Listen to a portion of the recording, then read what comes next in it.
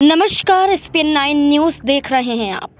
RG Kar medical college और अस्पताल में एक ट्रेनी डॉक्टर से रेप और हत्या के बाद ममता बनर्जी की सरकार फंस चुकी है।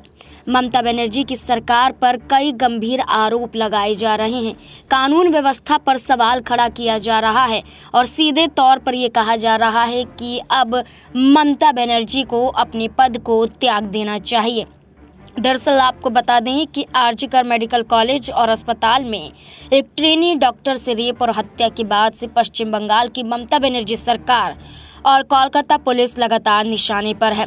दोनों के खिलाफ लोगों का गुस्सा बढ़ता जा रहा है। इस मामले में जिस तरह ममता बनर्जी सरकार और कोलकाता पुलिस ने शुरू में लीपापोती की कोशिश की, उससे उनकी कार्यशैली पर कई बड़े सवाल खड़े होते हुए नज़र आए। इतना ही नहीं सुप्रीम कोर्ट में बीते दिनों हुई सुनवाई के दौरान भी ममता बनर्जी की सरकार को कई बड़ी फटकार कोर्ट की तरफ़ से भी लगे और कोलकाता पुलिस पर भी कई सवाल दागे गए। आपको बता दें कि इस केस में ममता बनर्जी की सरकार और पुलिस की ओर से सबसे बड़ी गलती ये हुई कि घटना वाले दिन इसे आत्महत्या करार दिया गया। जबकि पोस्टमार्टम रिपोर्ट से साफ़ हुआ कि डॉक्टर के साथ पहले रेप हुआ और उसके बाद उनकी हत्या कर दी गई।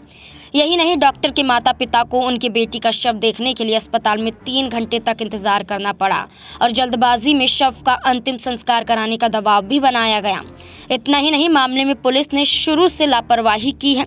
सबसे पहले तो पीड़ित की डायरी का एक पन्ना गायब मिला था, जिससे यह आशंका जताई जा रही कि इसमें महत्वपूर्ण जानकारी हो सकती थी। इसके अलावा ममता बनर्जी की ओर से पीड़ित परिवार को 10 लाख रुपए का मुआवजा दिया गया, जिसके बाद पीड़ित के पिता ने इसे अपमान बताया। ट्रेनी डॉक्टर से सेमिनार हॉल में रेप हुआ और वहीं मर्डर हुआ। लेकिन घटना के कुछ समय बाद ही वहाँ चेनाई का काम शुरू कर दिया गया। सेमिनार हॉल से सटे बाथरूम की दीवार का एक हिस्सा भी तोड़ दिया गया। इन कदमों से साफ़ है कि सबूतों को नष्ट करने की कोशिश की गई। इस घटना के बाद आरजीकर मेडिकल कॉलेज के प्रिंसिपल संदीप घोष ने अपना पद भी छोड़ दिया, लेकिन उनके खिलाफ कोई कार्यवाही नहीं हुई। सरकार ने सवाल करने की जगह उनकी पोस्टिंग कोलकाता के नेशनल मेडिकल कॉलेज में सीनियर पोस्ट पर कर दी। सबसे पहले घोष ने इसे आत्महत्या करार दिया था। इस घटना के विरोध में जब डॉक्टर और अन्य लोग 14 अगस्त की रात कोलकाता में प्रदर्शन कर रहे थे, तब आरजीकर मेडिकल कॉलेज में भीड़ घुसी और तोड़फोड़ की घटना को अंजाम दिया गया। इस मामले में पुलिस कार्यवाही करने की जगह चुपचाप भीड़ को देखती रही और उसे तोड़फोड़ करने दिया गया। आखिरी सवाल यहाँ पर यह खड़ा होता हुआ नज़र आया कि ममता बनर्जी सरकार ने आलोचनाओं के बीच भी एक बड़ी गलती की। इस मामले को लेकर पुलिस और सरकार पर सवाल उठाने वाले लोगों पर कार्यवाही होने लगी। मीडिया और सोशल मीडिया पर उठ रहे सवालों को दबाने का प्रयास किया गया।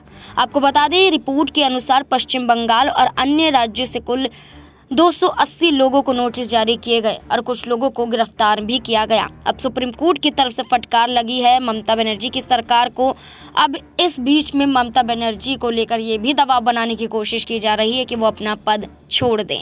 इस पूरे मामले पर अब देखा जाए तो अन्य राज्यों में भी विरोध प्रदर्शन बढ़ता हुआ नज़र आ रहा है। इंसाफ की मांग की जा रही है। अब देखना होगा कि मामला कहाँ तक बढ़ता है।